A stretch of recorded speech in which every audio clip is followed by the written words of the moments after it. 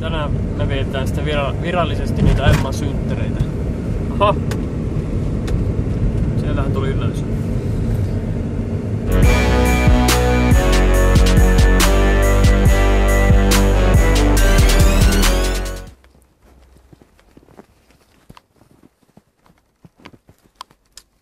Joo. Vähän valo paistaa läpi. Nyt se sammuu. Taas on satanut valkoista paskaa taivaalta.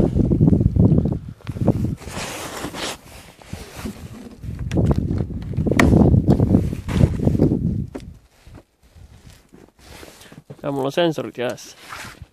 Tunnista, että mä avasin oven.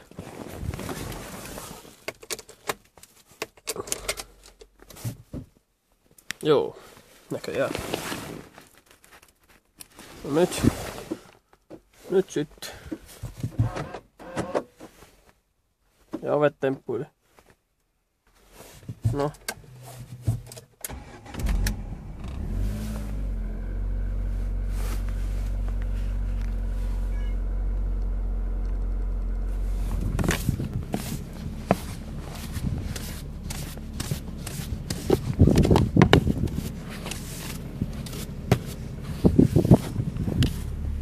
Onneksi mun ei tarvitse takaosaa putsata.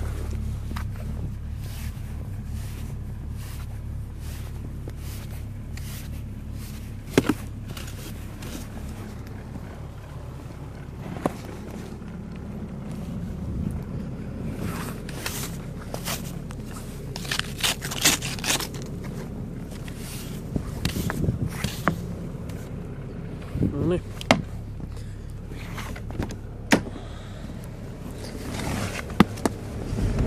No niin, nyt ollaan menossa taas Emmalle. Päästiin vihdoin liikkeelle. Ihan kivasti taas tullut lunta.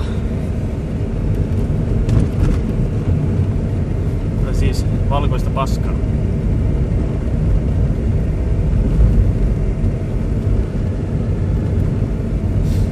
Eilen tosiaan värjäiltiin Emma hiuksia vähän ja mä sain värjäillä.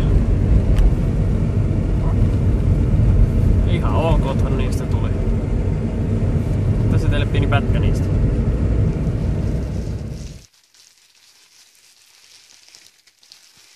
Kyllä nyt tulee hyvä. Ammattimies siellä.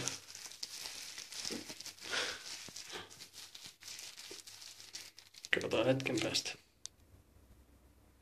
Tämmöset niistä nyt sitten tuli.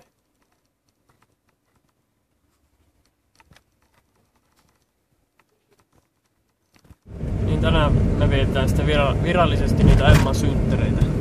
Oho! Sieltähän tuli yleisö. Siellä se Emma porskuttaa.